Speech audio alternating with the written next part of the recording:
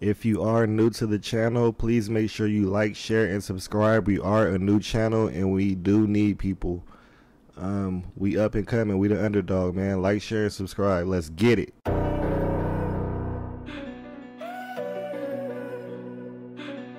What's up, gang? Today we're going to be talking about EBK Jaaybo and his come up, one of the hottest artists out of Stockton, California. With that being said, let's get straight into it. EBK Jaaybo, real name Jaimani Gorman, was born August 20th, 2003 in Stockton, California. Him, as well as most of his family, are from the southeastern section of Stockton, where crime is rampant and killings are a daily occurrence. Jaaybo said that back in the day, Nightingale wasn't that bad. You know, everybody was just focused on getting money, man. But uh, you know, as far as the politics and stuff in Stockton, you know, um, it was it was only a matter of time before they got into a serious, deadly street war. Jaaybo would start gangbanging. It's not easy growing up in Stockton, and he caught his first attempted murder charge at just 15 years old, where he would do a bunch of time in juvenile hall, where he got in a bunch of fights, and you know, it just it seemed like things were looking down. Ever since he can remember, he wanted to rap just like his dad, James Rory Gorman, a famous Stockton artist um, who unfortunately was gunned down in January of 2015.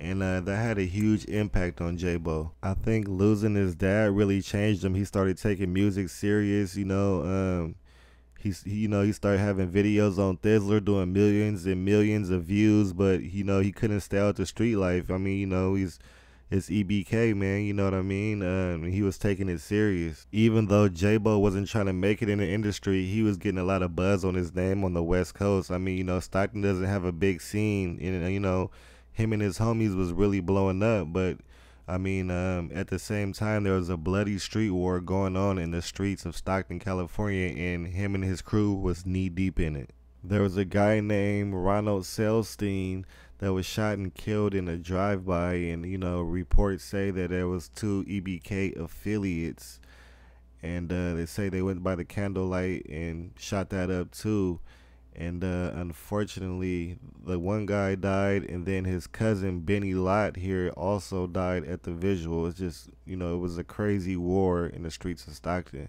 Everybody's speculating that you know Jaaybo had something to do with it and uh, actually two ebk affiliates went down for the crime this is crazy. Let me know what y'all think about this whole situation in the comments. The Stockton Police Department had a target on their back and they ended up booking nine EBK members on various charges from murder to gun charges to drug charges, all kind of stuff. They just racked it up on them. Everything kind of calmed down after that, but there will be more violence to come and um, EBK's name's right in the middle of it. Tragically, one of his good friends, Young Slowby, another EBK member, will be tragically gunned down in the street people would say this had to do with their beef with uh, Ma- the Mozzy camp in Sacramento, California. But then other people would say that it was a backdoor situation. Y'all let me know what y'all think happened in the comments. EBK's biggest ops are a set called Trap Mob or Fly Boys, and uh, many are speculating that they could have had something to do with it as well. I mean, clearly Jaaybo Ben had a little buzz, but his fame was going to a new level. It seems like right after all this happened, Stockton, California rapper Jay Black, who's with the Flyboys, was gunned down in the streets of Stockton, California.